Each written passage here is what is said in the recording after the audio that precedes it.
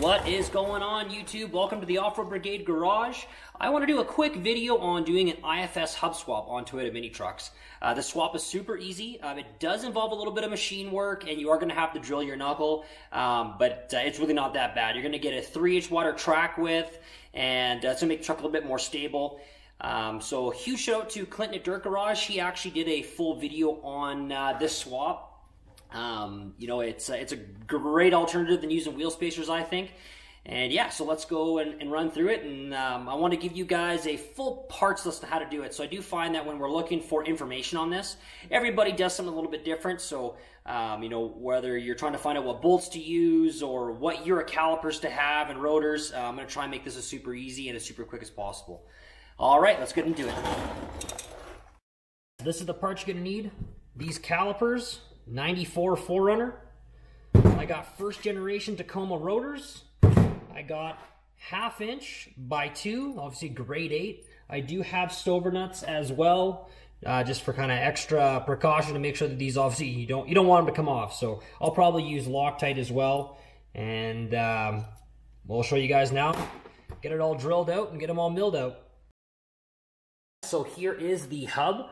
Uh, this hub is an IFS hub. So basically anything from 86 and up, uh, second gen 4Runner, uh, third gen pickups, um, they are differently spaced. So um, basically how it works is you're going to mill down this outer diameter to fit the inner diameter of your rotor.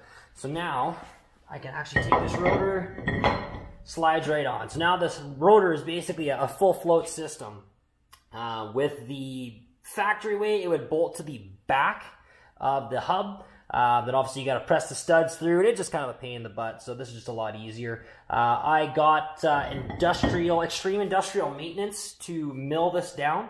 Uh, 95 bucks an hour. It was only a couple hundred bucks, guys. Uh, I know I do see quite a few um, um, other Toyota guys out there just using a grinder to kind of grind that out.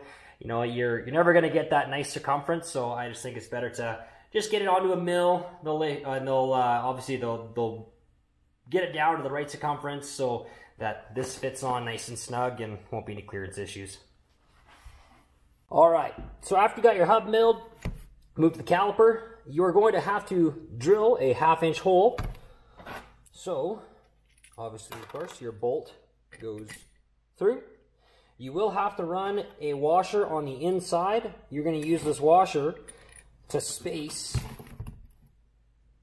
the caliper for the rotor. So, and then of course you're um, going to make sure everything's going to be fit nice, going to fit tight. So um, make sure I found that the two inch bolt works best. And I got to do the same thing to the hub.